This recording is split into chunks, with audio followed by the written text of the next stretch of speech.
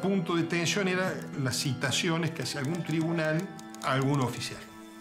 Que los militares tenían poder para dirigir, digamos, de alguna manera, las decisiones de los gobiernos. esa era la cultura. En la Escuela de Infantería, cita en Campo de Mayo, se produce la rebelión del teniente coronel Rico. Lo único que les tengo que decir es que les pido objetividad en la información, porque la población está siendo engañada.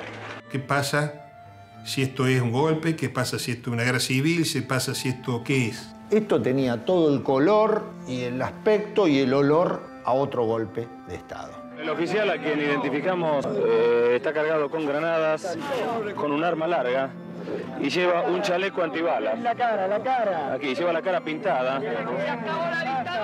Esto no es un golpe de Estado. Y yo le dije, entonces si no es un golpe de Estado es algo peor. Constituimos una especie de comité de crisis. Tenemos que avisarle a la sociedad.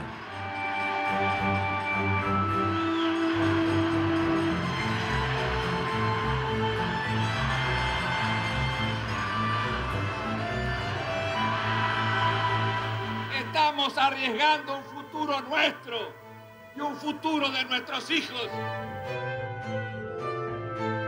He tomado una decisión. Dentro de unos minutos saldré personalmente a Campo de Mayo a intimar la rendición de los sediciosos. Les pido a todos me esperen acá. Les pido que me esperen acá.